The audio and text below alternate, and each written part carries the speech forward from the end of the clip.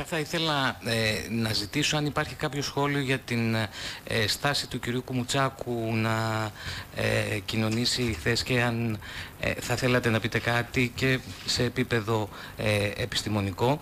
Και θα ήθελα μόνο και μια διευκρίνηση σχετικά με τα μέτρα. Είμαστε κοντά τα εργαλεία που αναφέρατε, κύριε Χραδαλιά, είμαστε κοντά στη χρήση ε, SMS ή ειδικού σημειώματος για τις ηλικίες 65 και άνω, ώστε να κυκλοφορούν ή για να τους πείσουμε περισσότερο να παραμένουν ε, στο σπίτι. Ευχαριστώ.